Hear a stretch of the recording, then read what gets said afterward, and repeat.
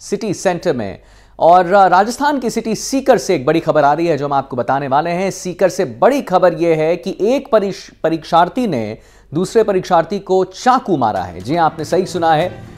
एक परीक्षार्थी ने दूसरे परीक्षार्थी को चाकू मारा है। नीट, यूजी परीक्षा केंद्र के बाहर मारा गया है चाकू और पेट में चाकू लगने से यश कुमार नाम का छात्र घायल हो चुका है।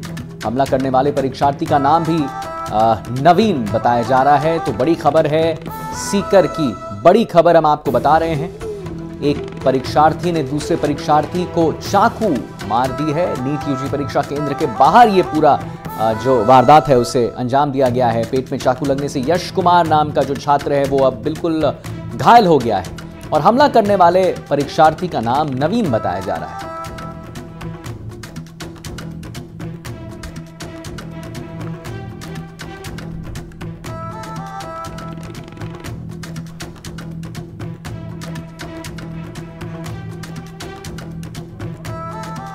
तो सीकर से बड़ी खबर है।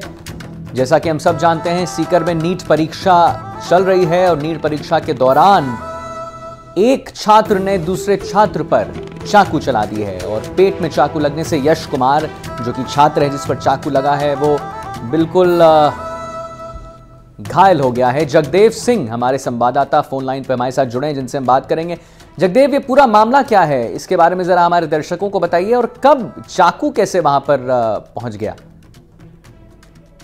तो मैं कहूँगा कि ये घटना जो है आज नीट परीक्षा के दौरान दाताराम थाना इलाका है उसमें दाता कस्बा है।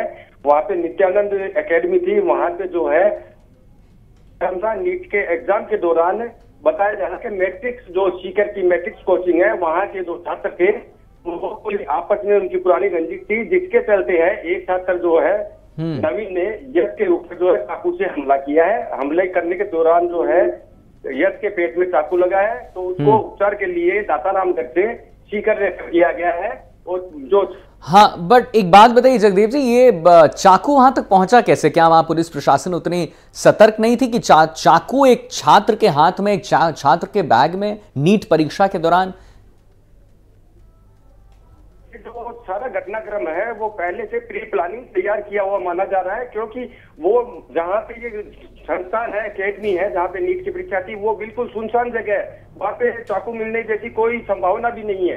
तो हम्म। जो जिसने आरोपी जो लेके गया है चाकू वो पहले से लेके गया है पहले से ही उसकी प्लानिंग थी और सामने आ रहा है कि ये कोई पुरानी रंजिश से जुड़ा हुआ मामला है। अच्छा और एक बात बताइए जगदीप ये अभी न, यश कुमार जिसे चाकू लगा है जो घायल हुआ है उसकी अभी हालत कैसी है? जी अभी तो उसकी हालत ठीक है वो, वो उसका उपचार जो है ठीक है हॉस्पिटल में चल रहा है। और वही एक बात और बताना चाहूँगा कि जी, जिस आदमी जगदेव आपकी आवाज़ थोड़ी सी कट रही है। फ़िलहाल हम बढ़ेंगे अगली खबर की ओर। बहुत बहुत धन्यवाद।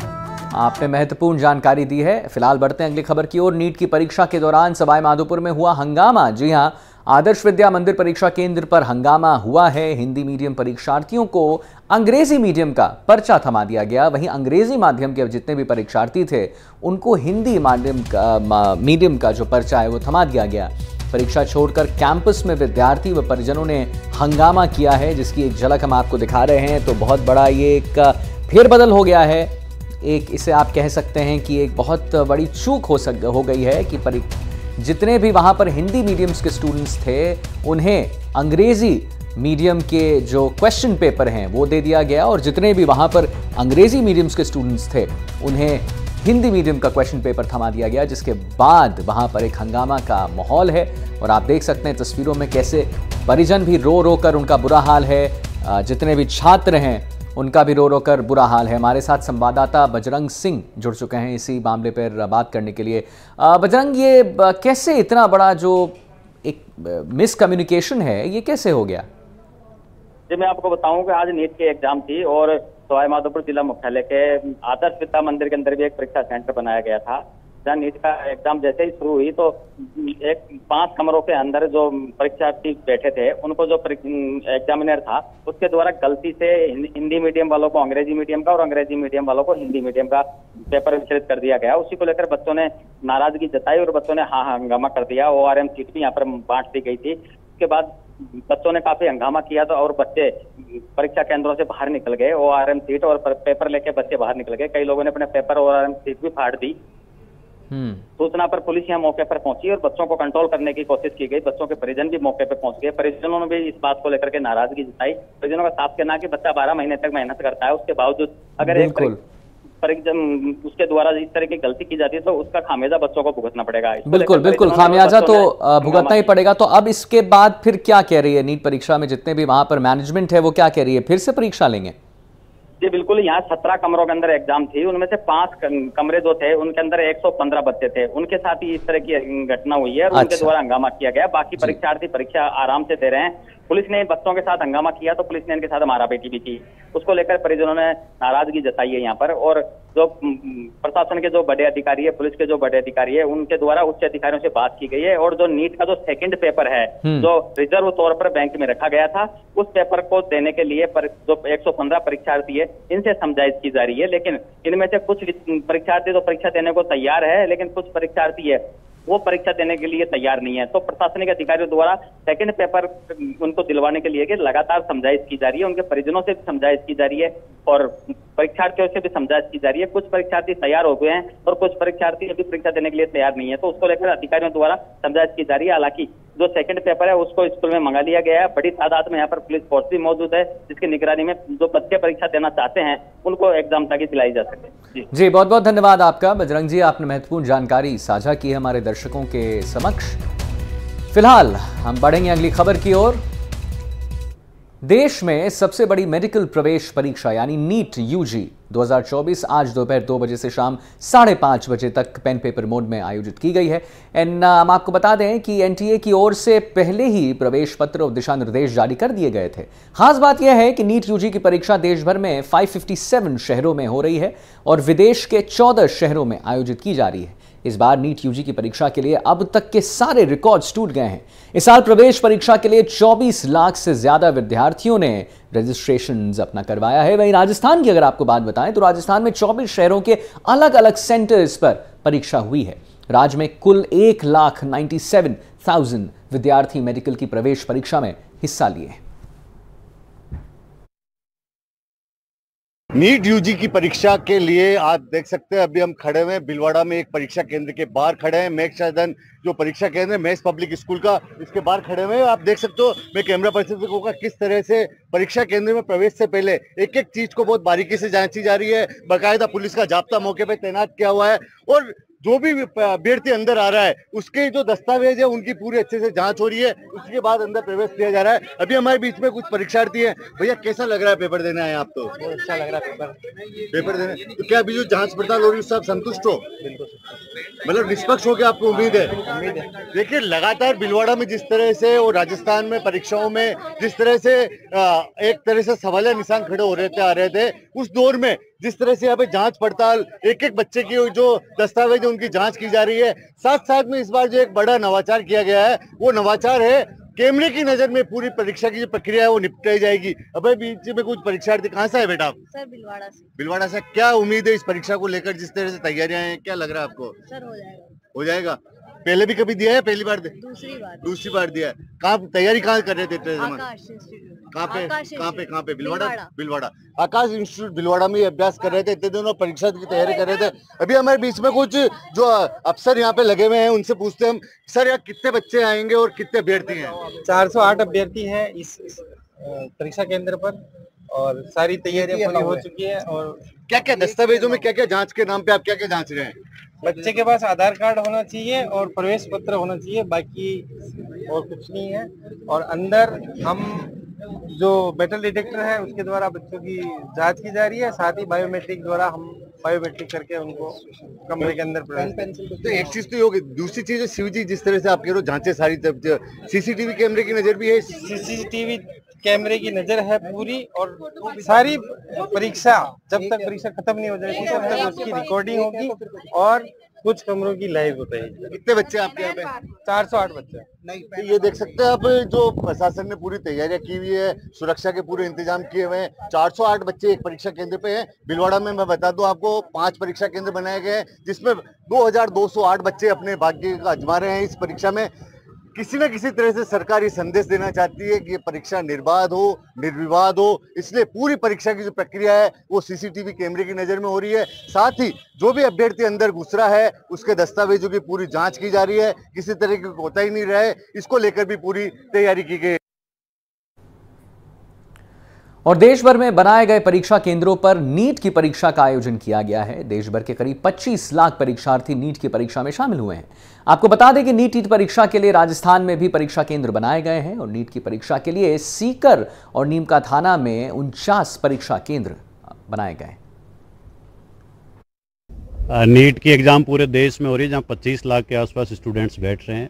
हमारे सीकर ज़िले में भी देश के जो प्रमुख केंद्र उनमें से एक है, जहाँ सत्ताईस हज़ार, साढ़े सत्ताईस हज़ार बच्चे आज उनचास केंद्रों पर परीक्षा दे रहे हैं, सीकर ज़िले के इकतालीस और आठ नीमका थाना के। बहुत ही चाक चौबन सुरक्षा व्यवस्था है। पूरे तरह से बच्चों की फ्रिस्किंग हो रही है उनकी मेटल डिटेक्टर से जाँच हो रही है उसके बाद उनके बायोमेट्रिक्स लिए जा रहे हैं ताकि एक परसेंट भी कहीं कोई दिक्कत नहीं हो। पूरी प्रोफेशनल टीम इस काम में लगी हुई है।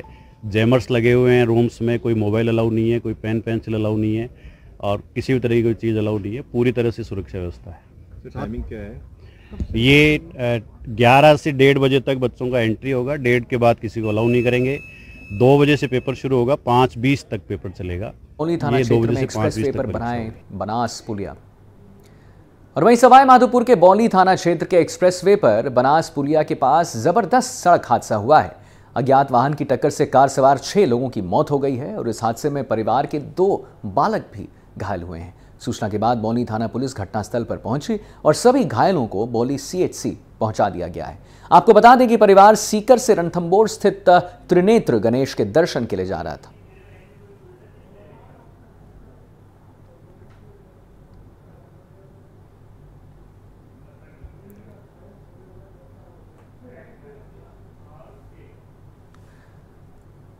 कैबिनेट मंत्री बाबूलाल खराड़ी को धमकी देने वाले युवक को कोटड़ा पुलिस ने गिरफ़्तार कर लिया है। इस बारे में जानकारी देते हुए पुलिस ने बताया है कि आरोपी जितेंद्र कुमार आहारी उदयपुर के बंजरिया थाना खेड़वाड़ा का रहने वाला है, जिसकी उम्र करीब 21 साल बताई जा रही है। आरोपी से पूछताछ के दौरान उसने बताया है कि चुनाव के दौरान जितेंद्र अपने मोबाइल में अन्य के नाम से इंस्टाग्राम की आईडी बनाकर राजनीतिक विचारधारा से प्रभावित होकर उसने वो कमेंट किया था, जिसमें उसने धमकी दी थी। बता दें कि आरोपी जितेंद्र कुमार खेड़वाड़ा महाविद्यालय के प्रथम वर्ष विज्ञान का एक छात्र है।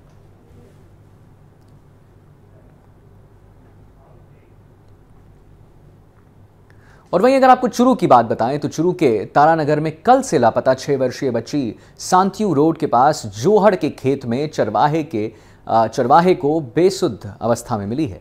चरवाहे की सूचना पर एएसआई सुमेर मीना और एचसी महेश मीना ने बच्ची इकरा को तानानगर से, तारानगर सरकारी अस्पताल अस्पताल में भर्ती करवा दिया है। बच्ची के मिलने की सूचना मिलते ही अस्पताल में लोगों की भीड़ जमा हो गई। लोगों की भीड़ को देखते हुए अस्पताल में बड़ी संख्या में पुलिस जवान को तैनात कर दिया गया है और बच्ची का इलाज कर रहे शिशु रोग विशेषज्ञ डॉक्टर मोतीलाल सोनी ने 24 घंटे मेडिकल देखरेख में रहने की उन्हें सलाह दी है। बच्ची की गायब होने के बाद डीएसपी मनीक्षा सिंह ने स्कूल का भी निरीक्षण किया था। वहीं डीएसपी मनीक्षा सिंह ने बताया है कि पुलिस की टीम जाँच में जुटी हुई है और जल्द ही खुलासा कर देगी।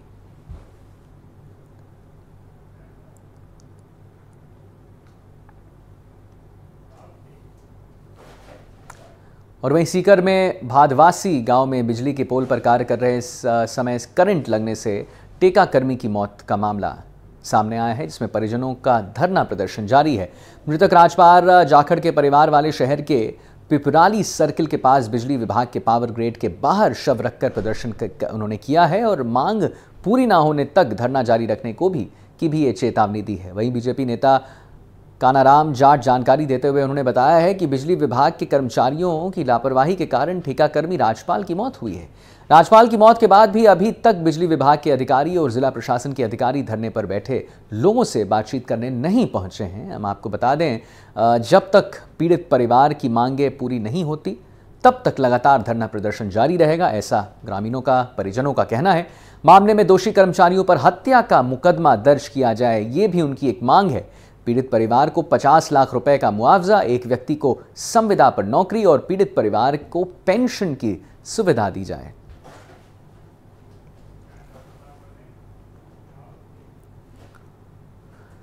प्रतापगढ़ में पुलिस ने तीन राज्यों के वांटेड पच्चीस हज़ार के कुख्यात इनामी बदमाश रफीक पठान को गिरफ़्तार कर लिया है। मध्य प्रदेश पुलिस ने भी बदमाश रफीक पठान पर ग्यारह हज़ार रुपए का इनाम घोषित कर रखा था। इस बदमाश पर पंद्रह से ज़्यादा संगीन आपराधिक मामले विभिन्न राज्यों में दर्ज किए गए हैं। वहीं इस बारे में जानकारी देते हुए एसपी लक्ष्मण दास ने बताया है कि अरनोदा थाना क्षेत्र के रहने वाले रफ़ीक पठान मादक पदार्थ तस्करी, हथियार तस्करी, राजकार्य में बाधा, पशु क्रूरता अधिनियम, जानलेवा हमला सहित कई संगीन मामलों में वंचित चल रहे थे। पुलिस टीम को सूचना मिली थी, कुख्यात बदमाश अपने गाँव में छिपा हुआ था। इस पर टीम ने कार्रवाई करते हुए बदमाश रफ़ीक पठान को गिरफ़्तार कर लिया है और फ़िलहाल अब इसके अन्य साथियों के विषय में भी बदमाश से पूछताछ जारी। है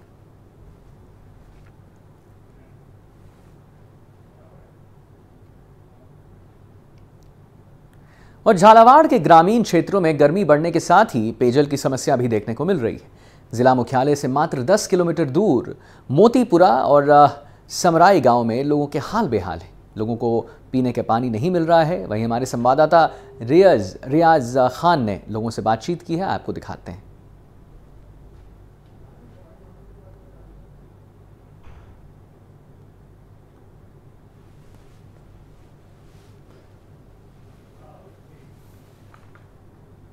सवाई माधोपुर में आज लगातार दूसरे दिन भी अतिक्रमण पर नज़र पर नगर, माफ़ कीजिएगा, नगर परिषद का पीला पंजा जमकर चला। सवाई माधोपुर विधायक और कृषि मंत्री डॉक्टर किरोड़ी लाल मीना की मौजूदगी में नगर परिषद का अतिक्रमण हटाओ दस्ता जो है, दलबल के साथ आज एक बार फिर जिला मुख्यालय के बजरिया क्षेत्र के बाज़ार में निकला और मंत्री की मौजूदगी में कच्चे पक्के अतिक्रमणों को ध्वस्त किया गया।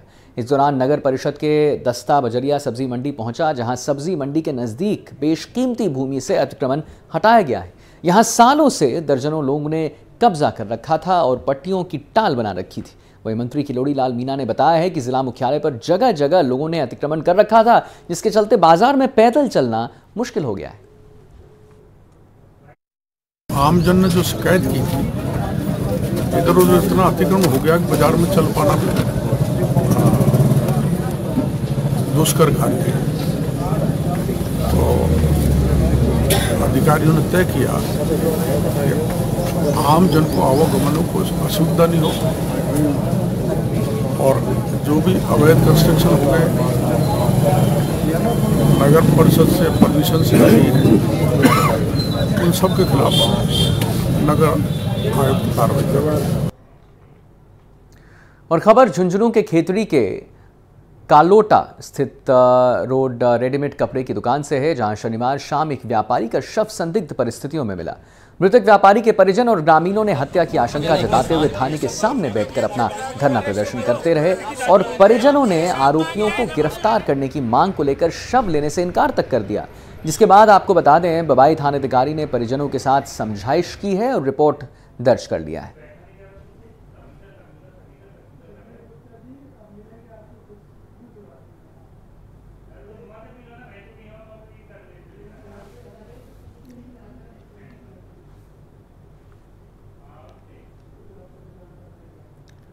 और वहीं आपको बताना चाहेंगे कि दिल्ली में राजस्थान की डेप्यूटी सीएम दिया कुमारी ने पार्टी प्रत्याशी के समर्थन में चुनाव प्रचार किया है। दिया कुमारी ने पूर्वी दिल्ली लोकसभा सीट से पार्टी प्रत्याशी के समर्थन में चुनाव प्रचार किया है। साथ ही नारी सशक्तिकरण संवाद कार्यक्रम में भी शिरकत करेंगी वो।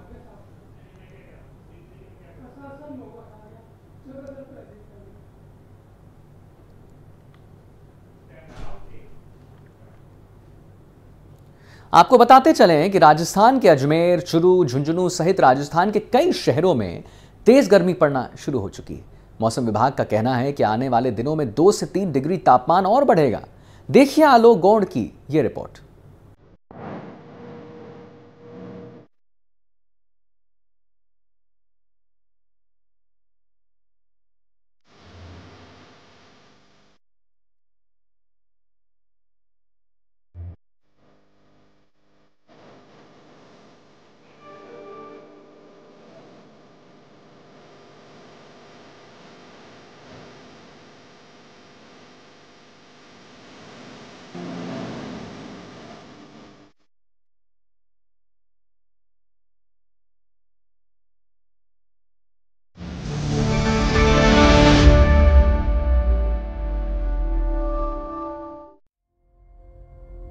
महीने की शुरुआत में चिलचिलाती धूप ने लोगों की मुश्किलें बढ़ा दी हैं।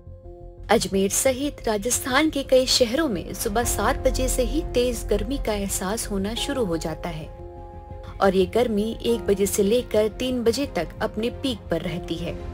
यही वजह है कि गर्मी से बचने के लिए लोग गन्ने का रस, दूध से बनी लस्सी और प्याऊ का पानी पी रहे हैं। गन्ने के रस को राजस्थान के लोग धरती का अमृत बता रहे हैं।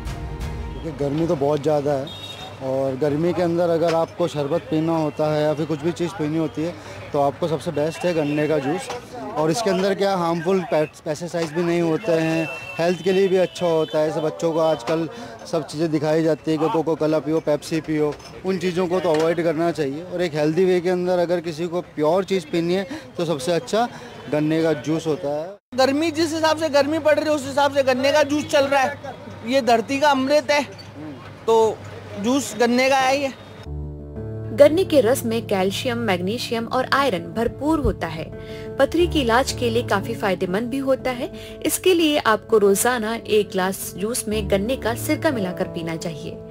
ध्यान देने वाली बात यह है कि डायबिटीज़ के मरीजों को इससे परहेज करनी चाहिए। गन्ने के रस में सोडियम, पोटेशियम, मैग्नीशियम और आयरन होता है। चिलचिलाती धूप में डिहाइड्रेट होने से रोकती है और आपको तरोताजा रखती है। यूरिन की समस्या से भी निजात दिलाता है। गन्ने का रस कब्ज में भी फ़ायदेमंद है। लीवर को स्वस्थ रखता है। स्तन कैंसर से भी लड़ता है। और पाचन को ठीक रखता है। लोगों का कहना है कि आने वाले दिनों में गर्मी और विकराल रूप ले सकती है। गौरतलब है कि मौजूदा समय में उमस ज़्यादा देखने को मिल रही है। अच्छा है, ठीक है। गर्मी तो है, लेकिन पसीना नहीं आ रहा है। अभी तो ठीक है, गन्ने का रस पी के रात पा रहे हैं। अजमेर, चूरू, झुंझुनू श्री गंगानगर समेत राजस्थान के कई ऐसे शहर हैं जहाँ पर गर्म हवाएँ और तेज़ धूप निकलना शुरू हो चुका है। ऐसे में जो राजस्थान के लोग हैं, बचने के लिए अपने अपने स्तर पर प्रयास कर रहे हैं। आने वाले दिनों में मौसम विभाग का कहना है कि दो से तीन डिग्री तापमान बढ़ सकता है। एनडीटीवी के लिए आलोक गोंड। वही खबर जैसलमेर के रामगढ़ से है, जहाँ एक बीएसएफ जवान ने आत्महत्या कर ली है। आपने सही सुना, ये घटना सीमा चौकी बबलियान की है और अभी तक की जानकारी के अनुसार मृतक जवान जनरेटर ऑपरेटर के पद पर तैनात थे। जनरेटर रूम के पीछे पेड़ पर फांसी लगाकर उन्होंने आत्महत्या की है। तनोट पुलिस ने शव को रामगढ़ अस्पताल भी पहुँचा दिया है। आत्महत्या के कारणों का खुलासा अभी तक नहीं किया जा सका है और पुलिस पूरी तरह से जाँच में जुटी है।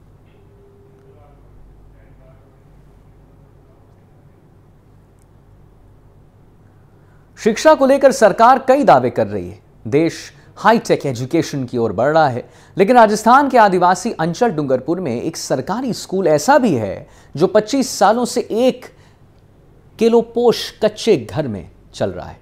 एक कमरे के घर के आगे टाट बांधकर दूसरा कमरा बनाकर स्कूल चलाया जा रहा है। मिट्टी के बने केलू भी दो महीने से हटा दिए गए हैं। भीषण गर्मी में फटी पुरानी टाट लगाकर गर्मी से बचकर बच्चे यहाँ पर पढ़ने को मजबूर हो चुके हैं। डेढ़ साल पहले विधायक ने स्कूल के लिए 25 लाख का बजट दिया था, लेकिन निर्माण की धीमी गति से यह काम अब तक अधूरा ही का अधूरा है। हालाँकि स्कूल भवन बनाने वाली पंचायत जो है, वो कह रही है कि पंद्रह दिनों में काम पूरा हो जाएगा।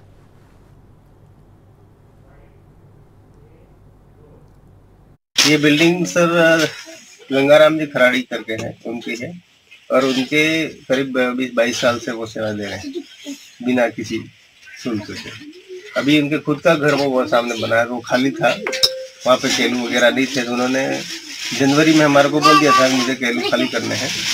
और आप अपने हिसाब से आप देख लो तो उन्होंने काली केलू उतारे के बाद हम ये तिरपाल विपाल करके वहाँ से टूट गया है, तिरपाल ढक के फिर हम लोग यहाँ पड़ा रहे और कभी ज़्यादा तकलीफ़ होती है, हम नींद के नीचे चले जाते हैं। चुरू ज़िले के सादुलपुर ग्राम पंचायत खेरू, बड़ी के गाँव कमान की रोही में ज़मीन में दबे बड़े बड़े पत्थर और मीठी की एक देव प्रतिमा और बड़े बड़े पत्थरों से बने कुआँ जैसा गोल मकान भी मौके पर दिखाई दे रहा था। हालाँकि जेसीबी मशीन से खुदाई के बाद कुआँ या कोई मकान जैसा कोई मामला नज़र नहीं आया है, जिसके बाद ग्रामीणों ने खुदाई जो है वहाँ पर बंद कर दी है। हर कोई उत्सुक था कि ज़मीन में ऐसा क्या दबा हुआ है, आखिर क्या निकलेगा? खुदाई के दौरान ज़मीन में दबी एक मिट्टी की बनी छोटी देव प्रतिमा ज़रूर निकली है, जो भगवान बुद्ध और माता जी जैसी दिखाई देती है। मौके पर ग्रामीणों ने जहाँ वर्षों पहले आबाद बस्ती होने की संभावनाएँ जताई थी तो अन्य लोगों ने पानी का कुआँ या फिर कोई मंदिर अथवा मकान होने का आ, उस उसके बारे में उन्होंने बताया था। लेकिन जेसीबी मशीन से खुदाई के बाद सिर्फ़ बड़े बड़े पत्थर ही वहाँ पर निकले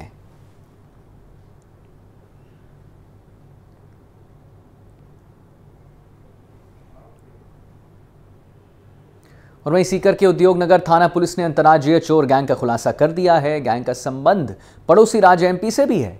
सीकर पुलिस ने विवेक कॉलोनी में पिछले महीने लाखों की चोरी का खुलासा किया था। पुलिस ने तीन आरोपियों को गिरफ़्तार भी कर दिया था।